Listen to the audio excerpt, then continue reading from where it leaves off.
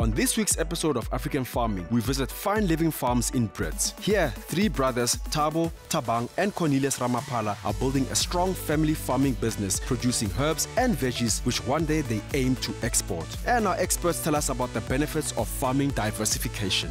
African Farming, harvesting a brighter tomorrow. For more information, visit africanfarming.com.